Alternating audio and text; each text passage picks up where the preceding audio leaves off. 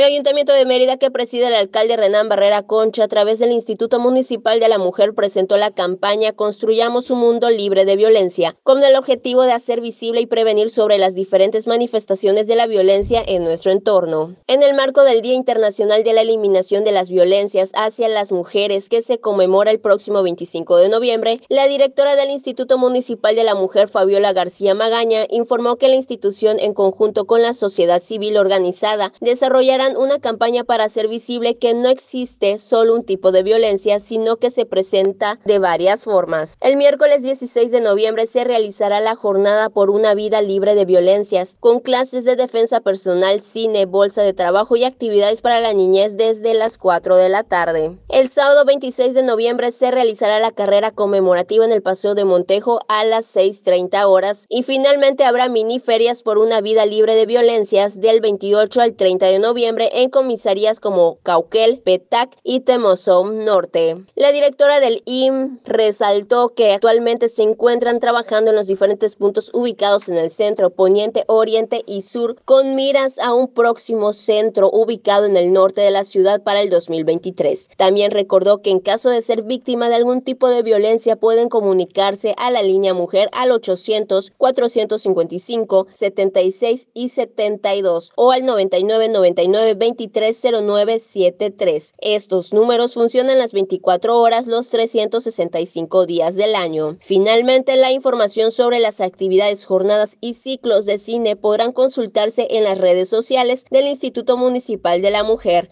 Noticias Teleplay.